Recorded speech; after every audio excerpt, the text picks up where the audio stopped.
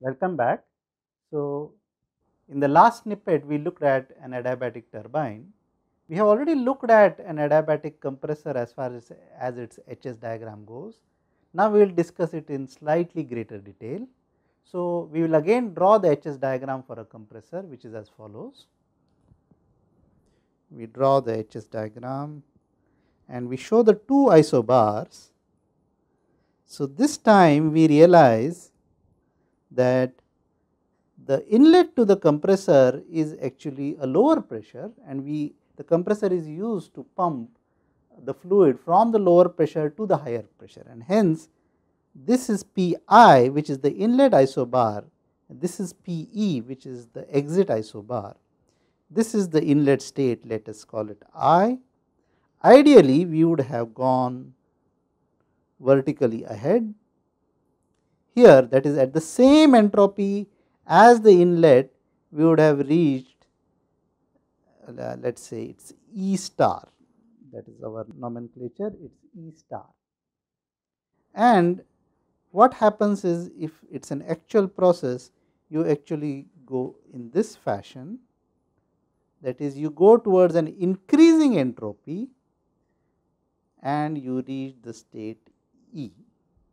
So, this is the actual state, this is the ideal state. E star is the state where um, the entropy is the same as that of the inlet, whereas E is the state where the entropy is more than that at the inlet. So, we can write down the same equations that we had done for uh, the turbine. In this case, we will see that P e is greater than P i because this is a compressor. S e star of course is equal to S i which is the inlet entropy. Now, in this case S e that is the actual exit state is greater than S i which implies S e is greater than S e star. Let us put it as greater than or equal to because it could still be ideal in some cases. So, in this case in a compressor the uh, enthalpy at the exit is higher than the enthalpy at the inlet. So, H e is definitely greater than H i.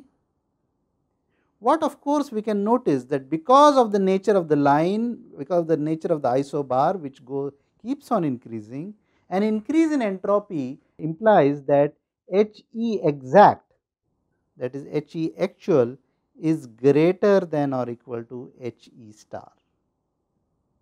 So, now if we look at the difference H e minus H i, because H e is greater than H e star, we will have H e minus H i is greater than or equal to H e star minus H i. Of course, now if we look at our uh, first law for open systems, it is W dot S is equal to m dot h i minus h e. Now, h i is a smaller quantity than h e and we are going to get that w dot s is a number which is less than 0. It is a negative number which is correct which is what we expect the work is input into the system w dot s the shaft work is a negative quantity. If we look at the definition of W dot S, because both quantities are negative and because H e star minus H i is a is of a larger magnitude, if we consider W dot S actual, we will realize that W dot S algebraically is a smaller quantity than W dot S star. This is algebraically. Both of these are negative and W dot S is a larger negative quantity than W dot S star. But if one looks at only the magnitude then W dot S that is the actual work input into the system is greater than or equal to W dot S star. So, in this case if we look only at the magnitude this is what is happening that the actual work input into the system is greater than the ideal work that is expected to be put into the system. And this is what we expect. We are trying to put in some work to get a particular result. That is an ideal case. We expect something. And because of so called irreversibilities and the process being non ideal we have to now put more work into the system. And this is what is being seen here w dot s is greater than equal to w dot s star.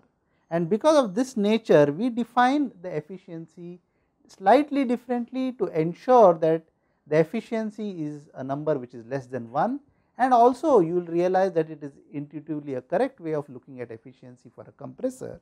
We define the isentropic efficiency N S C for the compressor as equal to W dot S star notice that now this is in the numerator upon W dot S and since both of them are negative the efficiency is a positive quantity and since magnitude wise w dot s star is less than w dot s this is a number which is less than or equal to 1.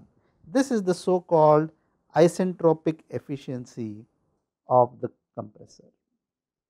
Of course, you can also see that you could have written it as H E star minus H i upon H e minus H i in this case. So, this is true for this case in general we will say that it is the ideal work that is expected to be input divided by the actual work that is input.